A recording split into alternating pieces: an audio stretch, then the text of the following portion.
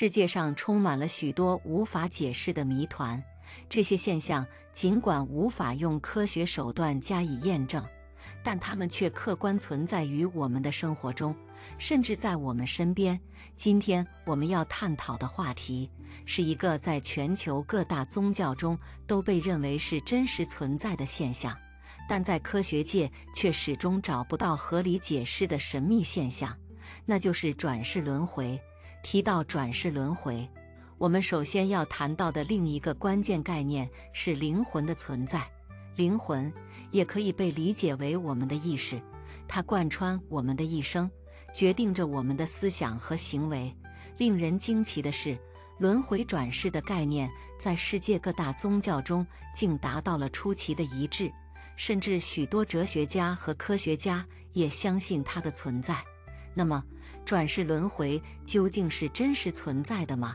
为了揭开这个神秘的面纱，我们将通过几个真实的案例来探讨这个令人困惑的现象。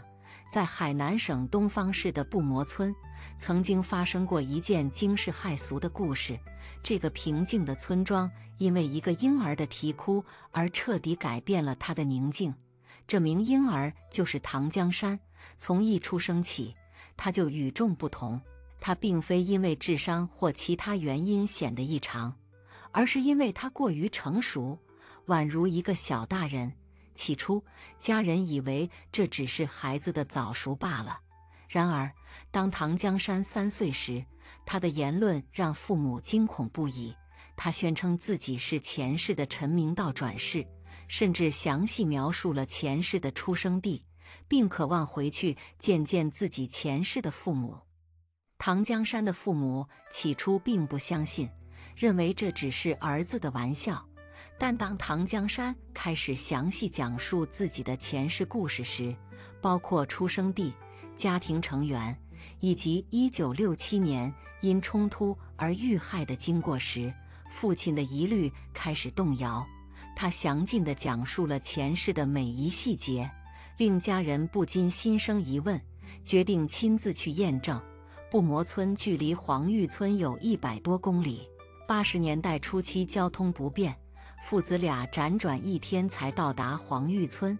令他们惊讶的是，黄玉村的景象竟与唐江山描述的一模一样。唐江山兴奋地引领父亲找到前世的家，遇见前世的亲人和朋友。唐江山如同回到了自己的家一般，不仅准确识别了所有人，还准确描述了他与他们的往事。村民们从最初的怀疑转变为信服，因为唐江山的讲述极为详细和真实。更令人震惊的是，唐江山身上的一道疤痕正好与陈明道遇害时的致命伤口一模一样。这道疤痕成为了他前世身份的铁证。尽管这个故事在黄玉村内传为佳话，但唐江山自己也陷入了困惑。他无法理解为什么自己会拥有前世的记忆，为什么他从未去过儋州，却能熟练地说出儋州的方言。我们再来看一个外国的故事：约翰和佛罗伦斯·布洛克住在英国赫克瑟姆的小镇上。一九四六年，他们迎来了女儿乔安娜。五年后，又有了另一位女儿杰奎琳。然而，在杰奎琳三岁时，她意外跌入空桶，额头上留下了明显的伤疤。乔安娜也有一个显眼的腹部胎记。一九五七年。这对父母和他们的两个女儿一起外出，却发生了悲剧。一名试图自杀的女子失控驾驶，将孩子们撞了个措手不及，致使他们永远离开了这个世界。约翰和佛罗伦斯在失去孩子的痛苦中挣扎。约翰开始研究转世理论，并祈祷上天能将他们的孩子送回他们身边。不久后，佛罗伦斯怀孕了。约翰坚信这是上天的旨意，并深信他们将会迎来一对双胞胎女孩，因为他相信转世的灵魂总会以双胞胎的形式重生。尽管当时没有超声波检查，佛罗伦斯对这件事并不太在意。然而，一九五八年，他们果然迎来了两位女儿，吉利安和詹妮。随着时间的推移，布洛克一家注意到了一些惊人的巧合。佛罗伦斯开始感到困惑，因为吉利安和詹妮的额头上竟然出现了与乔安娜相似的胎记，杰奎琳留下的腹部疤痕也出现在了吉利安身上。这不仅是巧合，还有更多奇异的现象。吉利安和詹妮的性格极其相似于她们已故的姐妹，尤其是在玩耍时，他们更倾向于玩之前姐妹们的玩具。而非新的玩具，并且对玩具的分配似乎有一种天然的默契。吉利安总是显得比妹妹更加成熟，像是照顾者一样。最令人震惊的还是他们对汽车的恐惧。当车道上发生任何与汽车相关的奇怪事情时，比如汽车鸣笛或突然刹车，女孩们表现出极度的恐惧。吉利安在二十岁时做了一个梦，梦见他在一座从未见过的房子里闲逛。虽然他从未住在这所房子里，也未曾见过他，但他对房子的描述却极为详细，令所有人都对他的准确性感到惊讶。因为这座房子正是他们搬家前的旧住所。这些种种迹象让布洛克一家开始相信。吉利安和詹妮的灵魂确实是转世而来，继续生活在他们的身边。这个故事引发了对转世轮回深刻的思考，也让人对灵魂转世的真实性感到震撼。以上的案例向我们揭示了一个惊人的事实：灵魂可能真的存在。爱因斯坦曾说过一句引发争议的话。当科学家登上最高峰时，会发现神学家早已在那里等待。这句被广泛传颂的名言：“科学的尽头是神学”，在当时招来了无数嘲笑。毕竟，作为发现和改写人类文明的相对论的科学巨匠，爱因斯坦被誉为继伽利略和牛顿之后最伟大的科学家。他竟然会说出如此不着边际的话。令人匪夷所思。然而，鲜有人知道，伽利略和牛顿在年轻时都是坚定的唯物主义者，但在晚年，他们却纷纷转向了神学。这些曾取得卓越科学成就的伟人，绝非愚昧无知之辈，也不是因为常年沉迷于科学研究而精神恍惚。或许，他们通过智慧洞察到了普通人无法触及的境界。科学虽然强大，但并非万能。它能不断拓展我们的认知，但却无法超越人类的理解范围。在这个世界上，依然有许多超乎常理的现象，至今无法用科学解释。例如，圣女这一古老的印度传统。当你听到“圣女”这个词时，可能会联想到高贵、不染尘埃、冰清玉洁的女性形象。但今天要讲的这些圣女，与这些美好的词汇毫无关联。她们的故事充满了污秽与悲惨、屈辱与绝望。在印度，圣女并不是一个体面的称呼，尽管人们对她们表面上恭敬有加，但谁都心知肚明，这些所谓的圣女究竟扮演着什么角色。所谓的印度圣女，既不是女王，也不是明星。而是命运最为凄惨的苦命孩子。根据传统，这些圣女全部来自贱民家庭，她们刚刚进入青春期，就被迫卖身于寺院，献身于所谓的神灵。这些少女的青春和肉体注定要被出卖，她们的一生注定没有婚姻，也没有未来。圣女们看似过着普通的生活，甚至与家人同住。但他们的命运却早已被寺院掌控。只有在寺院需要他们时，他们才会被召唤，提供免费的服务。他们被当作寺院里的应召女郎。红颜尚在时，是长老们的宠；一旦年老色衰，就会被无情抛弃，沦为被榨干的甘蔗渣子。寺院宣称他们的任务已完成，命令他们从圣女的队伍中退役。留给这些老圣女的，只剩下残灯破庙和痛苦的余生。他们只能成为新一代圣女的幕后参谋，为他们出谋划策，但也只能在这个悲惨的循环中挣扎。然而，无论新老圣女如何算计，他们始终逃不出命运的轮回。这种荒淫的习俗带来了惨痛的果报。据慈善组织发现，尽管印度政府在1986年宣布这一传统非法，但在安德拉邦等地区仍有四两万名剩女，其中约百分之四十的人 HIV 检查呈阳性。这个古老的习俗不仅毁灭了无辜少女的身心健康，也为艾滋病的传播埋下了祸根。显而易见，圣女这种畸形的角色完全处于社会的最底层，既没有人关心，也没有人管理。他们不仅是僧侣的泄欲工具，还是艾滋病毒的传播者。印度社会将为此付出沉重的代价。数据显示。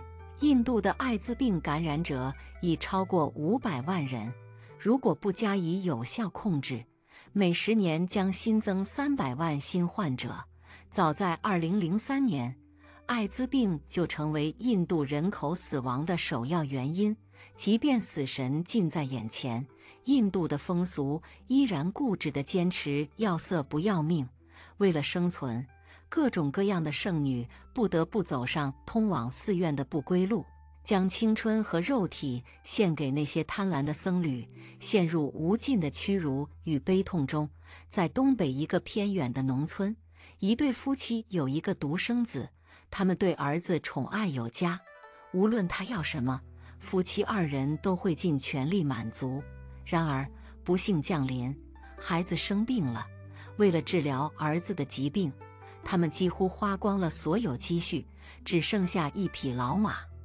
这匹马是他们家中的老伙计，十几年来几乎成了家庭的一员。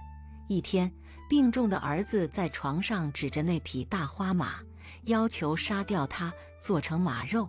夫妻俩面临着艰难的抉择，看着奄奄一息的儿子，他们最终忍痛屠杀了心爱的老马。就在他们刚炖好一锅马肉时，儿子却意外去世了。失去孩子的夫妻悲痛欲绝，几乎崩溃。后来，他们来到一个寺院，请教一位和尚。和尚告诉他们，事情的真相远比他们想象的更加复杂。原来，他们的儿子前世是一个富裕家庭的姑娘，她在十八岁那年。随父母拜访亲友途中，被一伙强盗劫掠，强盗首领转世成了他们家中的大花马，而夫妻二人则是其中的两名强盗。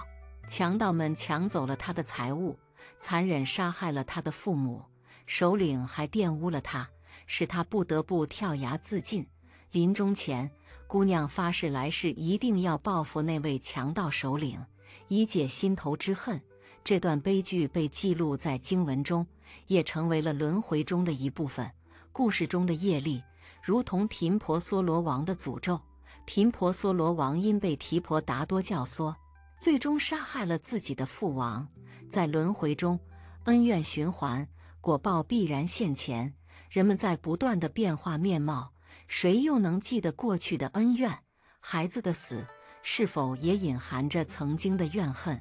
佛门中有句对联：“夫妻是前缘，善缘恶缘，有缘才聚；儿女是借债，欠债还债，有债方来。”在轮回的大梦中，我们不断的更换角色，重复着相似的故事，却难以看清事实的真相。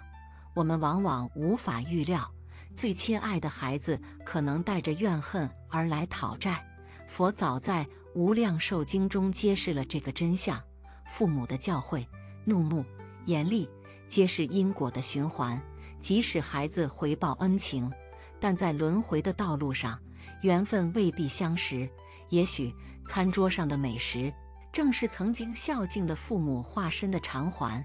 重金钻杂譬喻记讲述了一个令人警醒的故事：在古老的时代，有一位男子娶了两位妻子。大太太无子，而小太太则生了一位俊美可爱的男婴。男子对这个儿子非常宠爱，而大太太心中却满是嫉妒。尽管她表面上装作疼爱孩子的模样，大家都以为大太太将这个孩子视如己出，但她的真正意图却是要害死小男婴。只是耐心等待机会。当小男婴一岁时，大太太终于找到了机会，用针深深刺入孩子的脑门。可爱的小孩因此痛苦不已。七天后，悲剧终结。大太太假装伤心欲绝，肝肠寸断。然而，小太太在各种调查下，怀疑大太太是凶手。带着对狮子的痛苦和未报的仇恨，小太太最终也不幸去世。不久之后，大太太终于有了自己的女儿，极其可爱。她对女儿宠爱有加。然而，当女儿一岁时，突然病逝，大太太的悲痛超越了以往。随后，她又生了六个孩子，但每一个都在几岁时突然生病而亡。大太太每次都悲伤欲绝。第七个孩子尤其美丽动人，聪明伶俐。十四岁时，还找到了一位理想的丈夫。然而，就在结婚前一天，女儿突然病死了。大太太更加悲痛欲绝，整日以泪洗面，将女儿的遗体放在房中，不肯盖棺。目睹女儿的面容时，他觉得比生前更加美丽，整天默默悲伤，茶饭不思。二十多天后，一位阿罗汉因缘来到他们家，准备度化他们。此时的大太太蓬头垢面，憔悴不堪。阿罗汉问道。你们家里是否有一位小太太？她已经去世了，她是怎么死的呢？大太太听到这话，心中一震，担心自己过去杀害小太太的事被揭露，急忙问：“圣者，问起小太太的事有何缘由？”阿罗汉回应道：“待你整理好心情，我会告诉你真相。”大太太迅速整理好情绪，阿罗汉缓缓开口。你杀了小太太的儿子，让他痛苦而死。你家中七位去世的孩子，都是那孩子的投胎。他的目的是让你也感受到丧子之痛，从而受到相应的报应。大太太听后不敢相信，难以理解那些美丽乖巧的儿女竟然是小太太的投胎。阿罗汉继续道：“如果你不信，就去看一下你女儿的遗体吧。”大太太去查看女儿的遗体，震惊地发现，本来端庄美丽的女儿，在短短几分钟内竟然腐烂不堪，臭气熏天。她曾经的依恋和不舍，瞬间变成了惭愧和震惊。大太太意识到真相，立刻将女儿埋葬，心中充满了对过去罪行的悔恨与警醒。面对这样的事实，大太太终于明白了因果法则的不可违背，以及六道轮回的无尽痛苦。他恳求阿罗汉赐予皈依和受戒的机会，希望能够消除罪业，摆脱轮回的束缚。第二天，他照阿罗汉的指示前往寺庙，准备皈依。然而，路途中他却遇见了一条毒蛇，挡住了去路。蛇眼中闪烁着凶光，显然有意咬死他。大太太见状，恐惧不已，无法继续前行。此时，阿罗汉显现神通，来到蛇面前，说道：“你为了报复杀子之仇，已经七次投胎为大太太的儿女，彼此互结冤仇，轮回无尽。虽然这些罪过尚可解脱，但你现在阻碍他的皈依受戒。”恶报将更加严重，你将堕入恶道，受苦无穷。毒蛇听闻阿罗汉的话，明白了宿世因缘与果报，心中的怨气逐渐消散。阿罗汉观察到因缘已成熟，便开始为他们开示佛法真理。蛇和大太太互相忏悔罪业，毒蛇的怨恨因而消除，最终投生为人道。大太太听完佛法开示后，心境开阔，彻底领悟了因果的真谛。她皈依三宝，精进修行，最终证得须陀洹果位。这两位太太无疑是幸运的，他们遇到了阿罗汉，得以闻法明因果，忏悔业障，从而摆脱了痛苦的果报；大太太还获得了正果。在生生世世的轮回中，我们所造的罪业，若有因果法则的显现，虚空法界无法容纳我们身边的一切，每一个生命的因缘，世间的一切悲欢离合，皆是冥冥中的注定。世间常有一句话：因缘相欠，所以相见。这并非毫无道理。在轮回的漫长旅程中，总会有一个无声的伴侣，那就是阿弥陀佛。他在无量劫的修行中，无数次化身为我们的亲人，默默陪伴我们。无论是在生死之间，还是在极乐世界，阿弥陀佛以各种身份、各种姿态，致力于成熟我们的根基。只希望我们能一心念诵“南无阿弥陀佛”，从轮回的大梦中觉醒，归于净土，成为他最尊贵的佛子。从此，永远不再轮回，不再悲伤，也不再有恩怨，与极乐世界的清净眷属共同畅游十方法界，心意相通，共同度化众生。